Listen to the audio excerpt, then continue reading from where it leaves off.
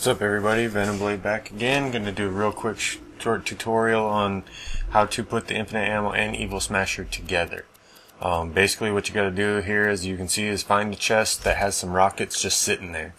Then you're gonna want to equip your Vladof rocket launcher and then empty it.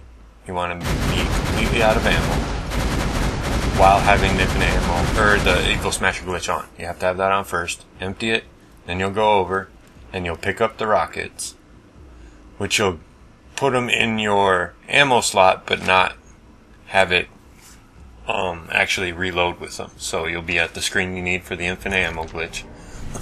um, you'll go about it the same way.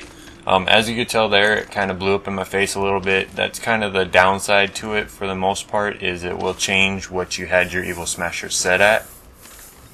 Um, a lot of times it'll bring it down to something pretty low, but even so, it's better than, you know, nothing so you'll still get pretty good damage out of it. Um, there have been, it just kind of depends. There have been times that I've gotten a high number, times that I haven't. But for the most part, you know, it'll be relatively small in my experience.